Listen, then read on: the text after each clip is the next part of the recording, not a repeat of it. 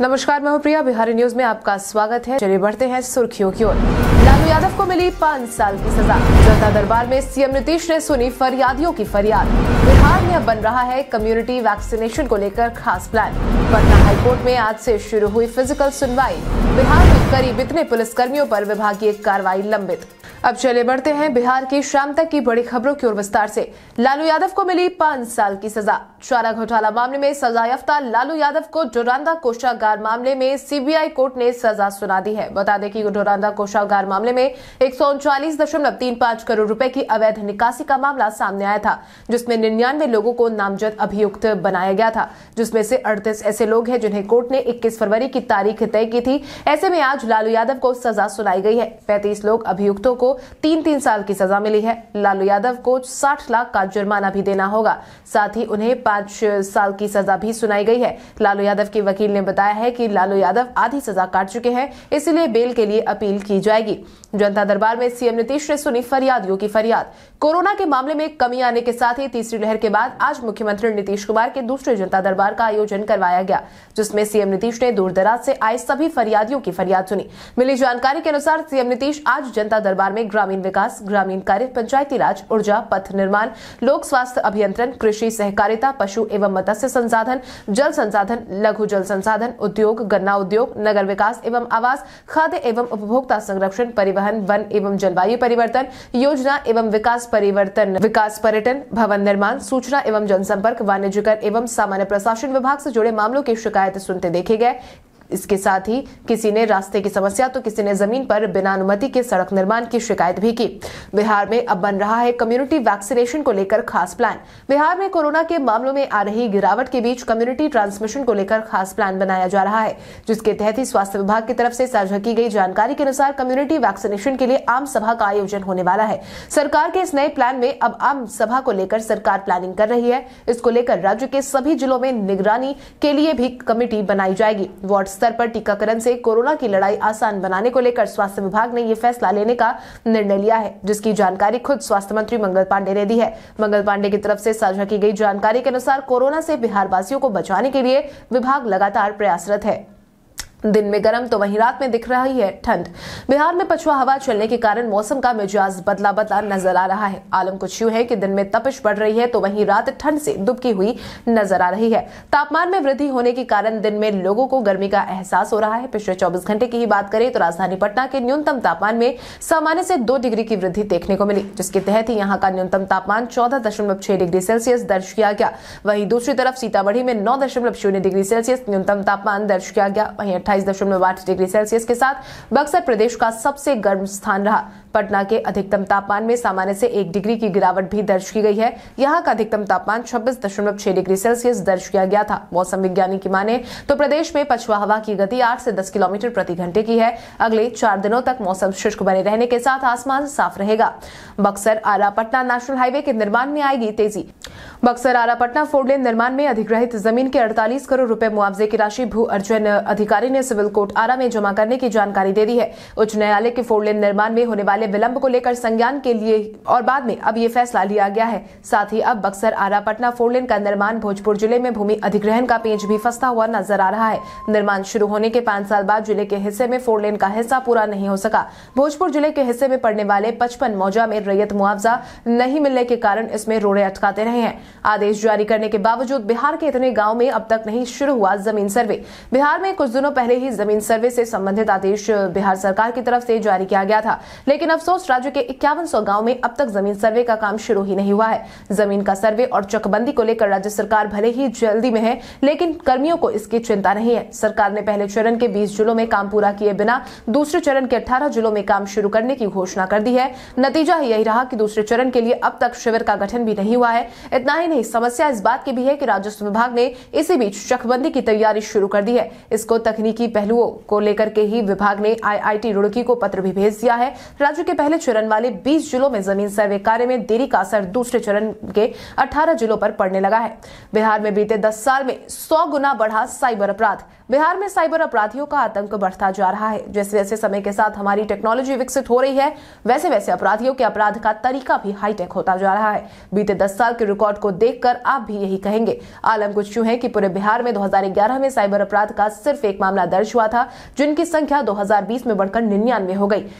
बीच के वर्षों पर नज़र डाले तो इनकी संख्या प्रतिवर्ष 300 से ज़्यादा हो गई थी। वहीं 2011 से 2022 तक पर नज़र डाले तो अब तक 2026 मामले दर्ज किए जा चुके हैं। इनमें एक मामलों का निष्पादन या डिस्पोजल कर दिया गया है, जबकि तिहत्तर मामले पेंडिंग है और उनकी जाँच अभी चल रही है। आय से अधिक संपत्ति होने के कारण फंस गए खनिज अधिकारी। बिहार में लगातार आय से अधिक संपत्ति वाले भ्रष्ट अधिकारियों की जानकारी एक के बाद एक निकल करके सामने आ रही है। इसी बीच एक बार फिर से बड़े अधिकारियों का नाम अब सामने आने लगा है। ताज़ा मामला पटना के खनिज विकास पदाधिकारी सुरेंद्र प्रसाद सिन्हा का है। उन्हीं के ठिकानों पर कार्रवाई करने के लिए आज सुबह सुबह टीम पहुँची थी। साल 2006 में बिहार में लोक सेवक के रूप में कार्यरत सुरेंद्र प्रसाद सिन्हा पर आरोप लगाया गया है कि उन्होंने आय से लगभग अड़सठ प्रतिशत अधिक संपत्ति अर्जित की है, जो लगभग नवासी लाख अट्ठासी हज़ार रूपए है, जो की उन्हें बालू के अवैध उत्खनन, परिवहन और भंडारण और गैर कानूनी व्यापार के माध्यम से अर्जित की गई है। हालाँकि उनके खिलाफ इसकी शिकायत पहले ही दर्ज कर ली गई थी, जिसके तहत ही कोर्ट के आदेश पर बीते सत्रह तारीख को भ्रष्टाचार निरोधक अधिनियम के तहत मामला दर्ज किया गया था। आज उनके तीन ठिकानों पर कार्रवाई का काम किया जा रहा है। पटना हाईकोर्ट में आज से शुरू हुई फ़िज़िकल सुनवाई। कोरोना की तीसरी लहर अब सामान्य होती हुई नज़र आ रही है। राज्य सरकार ने इसको लेकर पहले ही सारी तरह की पाबंदियों को हटा दिया है और अब पटना हाईकोर्ट में भी जो भी पाबंदियाँ लागू की गई थी, उसको भी वापस ले लिया गया है जिसके बाद ही अब सोमवार यानी कि आज से आमने सामने सुनवाई की प्रक्रिया देखने को मिली। अड़तालीस दिनों बाद फ़िज़िकल कोर्ट यानी केसों पर आमने सामने की सुनवाई शुरू हुई। यानी कि आज से गुरुवार तक फ़िज़िकल, वहीं एक दिन यानी कि शुक्रवार को वर्चुअल माध्यम से सुनवाई होगी। हालाँकि ध्यान देने वाली बात यह है कि हाईकोर्ट में सुनवाई के दौरान कोरोना गाइडलाइन का सख्ती से पालन किया जाएगा। एडवोकेट एसोसिएशन अध्यक्ष योगेश चंद्र वर्मा के मुताबिक पिछले दिनों पटना हाईकोर्ट समन्वय समिति और हाईकोर्ट प्रशासन के बीच हुए महत्वपूर्ण बैठक में यह निर्णय लिया जा चुका है। बिहार में करीब इतने पुलिसकर्मियों पर विभागीय कार्रवाई लंबित। बिहार पुलिस महकमे में एक हज़ार से ज़्यादा पुलिसकर्मियों पर मामले बिहार में लंबित पड़े हैं। इतना ही नहीं, जारी रिपोर्ट के अनुसार इनमें से 10 प्रतिशत पुलिसकर्मियों पर कई गंभीर मामले दर्ज हैं। बिहार पुलिस मुख्यालय की तरफ़ से इस बाबत छानबीन में पता चला है कि इनमें से कुछ मामले ऐसे भी हैं जो पिछले छह महीने से ज़्यादा समय से चल रहे हैं। ऐसे में पुलिस मुख्यालय ने इन मामलों का निपटारा करने के लिए सभी जिला पुलिस अधीक्षकों को इकतीस मार्च तक का टारगेट दिया है। इसको लेकर पुलिस मुख्यालय के एडीजी जितेंद्र सिंह गंगवार ने भी बड़ी बात कही है, जिसके तहत अब उनका ये मानना है कि लंबित पड़े मामलों की वजह से पुलिस कर्मियों के प्रमोशन में बाधा पहुँचती है। जाँच के उपरांत ही तय हो पाएगा कि पुलिसकर्मी निर्दोष है या दोषी है। दोषी पर कड़ी से कड़ी सजा होगी। बिहार में भी आया हिजाब विवाद। हिजाब को लेकर कर्नाटक से जो विवाद शुरू हुआ था उसकी जाँच बिहार में भी आ गई है। हाल ही में बिहार को लेकर एक नया विवाद भी देखने को मिला। नेता प्रतिपक्ष तेजस्वी यादव के ऑफ़िस वाले ट्विटर हैंडल से एक वीडियो को रीट्वीट किया गया, जिसमें यह दावा किया गया है कि बेगूसराय के मंसूर चक स्थित एक बैंक में हिजाब पहनकर पहुँची युवती को बैंक कर्मियों ने रोक दिया था, जिस पर ही तेजस्वी का गुस्सा फूट गया है। इसको लेकर तेजस्वी ने खुद एक वीडियो शेयर किया है। शेयर किए गए वीडियो में देखा जा सकता है कि बैंक के अंदर हिजाब को लेकर युवती और उनके परिजनों को बैंक कर्मियों से विवाद चल रहा है, जिसमें ही ये दावा किया जा रहा है कि एक लड़की जो बेगूसराय के मंसूर चक स्थित यूको बैंक की शाखा में पैसे का लेन देन करने पहुँची थी, वहाँ बैंक कर्मियों ने हिजाब का हवाला देते हुए उसे ट्रांजेक्शन से रोक दिया था। नेता प्रतिपक्ष तेजस्वी यादव के ऑफ़िस वाले ट्विटर हैंडल से इस वीडियो को रीट्वीट किया गया और मुख्यमंत्री नीतीश कुमार से सवाल पूछा गया कि आप कुर्सी की खातिर क्या करवा रहे हैं। बिहार विधानसभा अध्यक्ष के साथ हुए दुर्व्यवहार पर जवाब तलब। बिहार विधानसभा के अध्यक्ष विजय कुमार सिन्हा के साथ दुर्व्यवहार का मामला गरमाया हुआ है। यही कारण है कि अब इसको लेकर विधानसभा में विशेषाधिकार हनन का नोटिस का प्रस्ताव लाया गया है, जो कि भाजपा विधायक संजय सारवगी और ललन कुमार की तरफ़ से पेश किया गया। ये नोटिस लखीसराय डीएसपी रंजन कुमार और दो थाना प्रभारी दिलीप कुमार और संजय कुमार सिंह के खिलाफ है। इस बाबत सोमवार को तीन बजे विधानसभा में महत्वपूर्ण बैठक भी बुलाई गई थी। इसमें विधानसभा के सचिव ने मुख्य सचिव आमिर सुबहानी और डीजीपी एकल और डीजीपी एस के सिंघल को भी बुलाया था। इन्हें संबंधित पदाधिकारियों के जवाब के साथ पेश होने का निर्देश दिया गया था। लालू यादव पर बनेगी फ़िल्म। बिहार की राजनीति के मशहूर नामों में शुमार लालू यादव पर जल्द ही फ़िल्म का निर्माण होने वाला है। इसको लेकर मशहूर फ़िल्म और टीवी अभिनेता राव रणविजय 21 फरवरी को चकाई आने वाले थे। इसके बाद खबर यही है की वो सिमलतल्ला के लिए प्रस्थान करेंगे। आपको बता दें की मिनी शिमला कहे जाने वाले सिमलतल्ला की वादियों में घूमने के बाद वो वापस मुंबई चले जाएँगे, क्योंकि राव रणविजय ही लालू यादव के जीवन पर आधारित फ़िल्म लालटेन में काम करने वाले हैं, जो लालू यादव के खास मित्र का रोल अदा करने वाले हैं। ज्ञात हो, अभिनेता राव रणविजय बीते आठ वर्षो से मुंबई फ़िल्म इंडस्ट्री में एक अभिनेता के रूप में काफ़ी सारे धारावाहिक एड फ़िल्मों और शॉर्ट फ़िल्म में काम कर चुके हैं। ICC T twenty team ranking में टॉप पर पहुँचा भारत। वेस्टइंडीज के खिलाफ तीन मैचों की सीरीज़ में तीन शून्य से बीते दिन क्लीन स्वीप करने के बाद भारतीय क्रिकेट टीम आईसीसी की ताज़ा टी ट्वेंटी टीम रैंकिंग में टॉप पर पहुँच गई है। क्या तो बीते दिन इडन गार्डन में हुए तीसरे मैच में भारत ने वेस्टइंडीज को सत्रह रन से हराकर latest T twenty team ranking में नंबर वन का स्थान हासिल कर लिया है। इंडिया ने इंग्लैंड को पछाड़कर टी ट्वेंटी रैंकिंग में अपनी बादशाहत कायम की है। भारत की अब तक दो रेटिंग हो गए हैं, जबकि इंग्लैंड के भी इतने ही है, लेकिन भारत के पास इंग्लैंड से ज़्यादा पॉइंट्स है। भारत में कोरोना के मामलों में जारी है गिरावट। देश में कोरोना की रफ्तार एक बार फिर से घटती जा रही है। देश में पिछले 24 घंटे में सोलह नए कोरोना के सामने आए हैं और 206 संक्रमितों की जान चली गई, जबकि इससे एक दिन पहले कोरोना के उन्नीस नए मामले आए थे और छह सौ तिहत्तर लोगों की जान जा चुकी थी। अच्छी बात यह है कि पिछले चौबीस घंटे में सैंतीस लोग कोरोना से ठीक भी हुए हैं, यानी कि बाईस एक्टिव केस कम हो गए। कोरोना महामारी की शुरुआत से लेकर अब तक कुल चार करोड़ अट्ठाईस लाख अड़तीस हज़ार पाँच सौ चौबीस लोग संक्रमित हुए हैं।